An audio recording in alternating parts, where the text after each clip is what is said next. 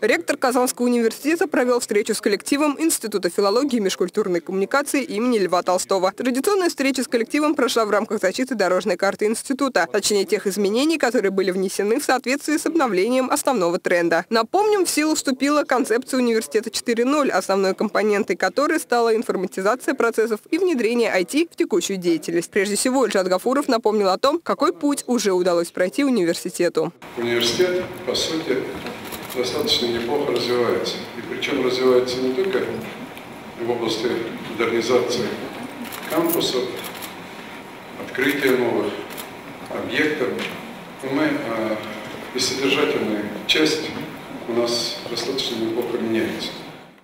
Напомнил ректор и о прошедшем открытии обновленного корпуса Института фундаментальной медицины и биологии КФУ в комплексе бывшего военного госпиталя. Акцент был сделан на влияние проводимых изменений на уровень подготовки студентов. С работой врачей и учителей люди встречаются чаще всего, и работа этих специалистов, по сути, является индикатором удовлетворенности населения. Далее ректор напомнил слушателям, что Институт филологии и межкультурной коммуникации КФУ неоспоримо является крупнейшим центром изучения татарского языка и культуры, а потому на подразделении лежит особая ответственность по данному вопросу. Об этом же в своем выступлении сказал директор института Радив Замлединов.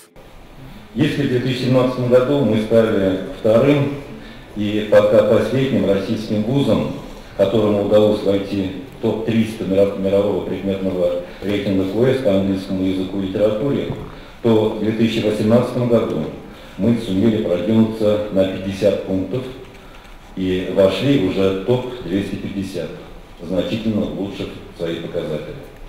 В целом, на сегодняшний день, по данным Сайвал, в области цитирования на одну статью в профильных журналах по литературе Казанский федеральный университет значительно опережает общероссийские, общеевропейские показатели.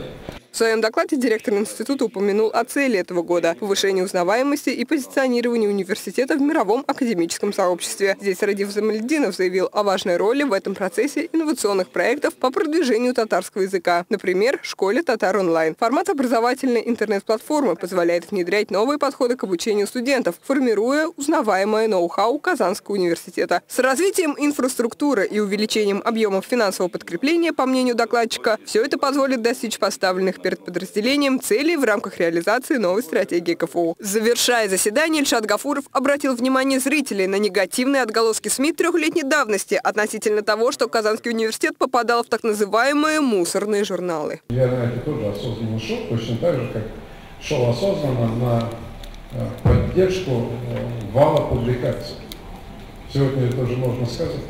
То есть мы должны были заплатить определенное пространство это тоже была технология. То есть э, есть технологии подготовки спортсменов, есть технологии попадания в рейтинги, есть другие. Мы должны были использовать этот, эти вещи тоже.